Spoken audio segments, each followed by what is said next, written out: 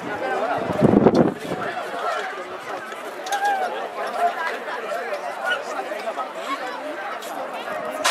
mine damer og herrer, det kommer til at stikke fuldstændig af. Det ser ud til, det er Simon Jensen side om side. Hvem er tager til den? Det ser ud til Simon Jensen først ind i første sving. Der er det til. Det er Simon Jensen. Var der Berners nu førsteplads. Det er det er også noget fra Sverige. Vi Tobias Lindqvist det der Berners på en anden plads. helt til.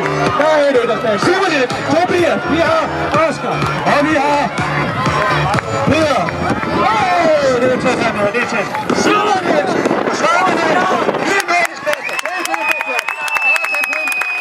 Tobias, så har vi med nummer 5. Oscar er med nummer 87. Der er det vildt godt. Tillykke alle. Vi hopper direkte videre til klassen, hvor det er drenge